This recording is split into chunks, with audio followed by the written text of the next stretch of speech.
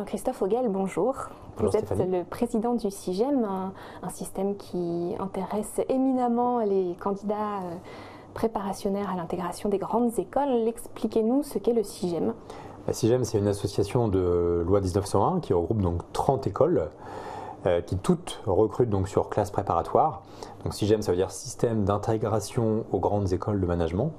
Et donc c'est un système qui est facilitateur pour les candidats, puisque ça leur permet, donc moyennant un, un acompte unique, de pouvoir euh, intégrer donc l'une des écoles euh, dans lesquelles ils sont classés et euh, en fonction des vœux que ces candidats vont faire, ils vont être affectés à une des écoles. Tout se passe en un tour et en une seule fois et donc du coup l'information est très rapide pour les candidats et c'est aussi très facilitant pour les écoles puisqu'elles-mêmes connaissent donc du coup les étudiants qui leur sont affectés aussi en une seule fois.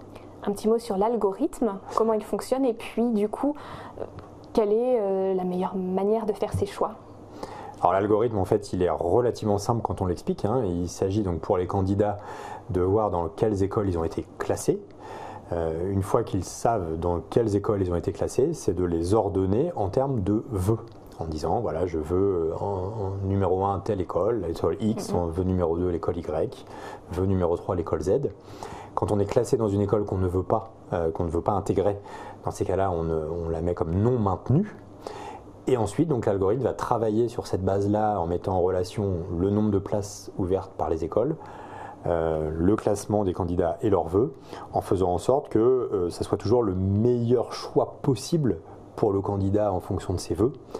Euh, et donc 81% en 2016 des candidats se sont vus attribuer leur vœu numéro 1, ce qui prouve que le système est relativement optimal.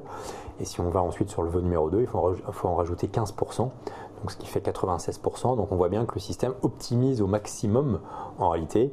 Et au final, 96% des places proposées par les écoles ont été remplies euh, par les candidats. Donc euh, c'est à la fois très bien pour les candidats et très très bien pour les écoles.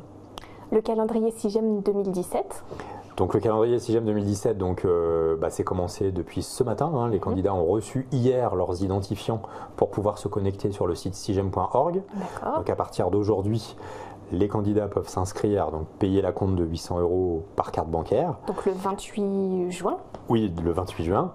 Et euh, ils peuvent faire ça donc jusqu'au 5 juillet 18h. D'accord. Hein, donc euh, sans plus tarder, donc il faut absolument qu'ils s'inscrivent jusqu'au 5 juillet. 5 mhm. juillet 18h, il sera trop tard. Après, il ne sera plus possible de s'inscrire, quels que soient d'ailleurs euh, ces résultats de classement dans les mhm. écoles. Hein. donc c'est quand même l'enjeu est important, il ne faut pas oublier ça. Il faut absolument le faire. Et puis ensuite, la deuxième phase est très importante pour eux, c'est les 12 et 13 juillet. Le 12 et 13 juillet, c'est les deux jours. Ils vont pouvoir donc ordonner leurs vœux dans les écoles où ils vont pouvoir être classés. Euh, donc voilà, donc euh, c'est 12 et 13 juillet. Et ensuite, euh, ils seront le 19 juillet où ils sont affectés, donc à partir de 15h. Jean-Christophe Auguel, merci beaucoup. Merci Stéphanie.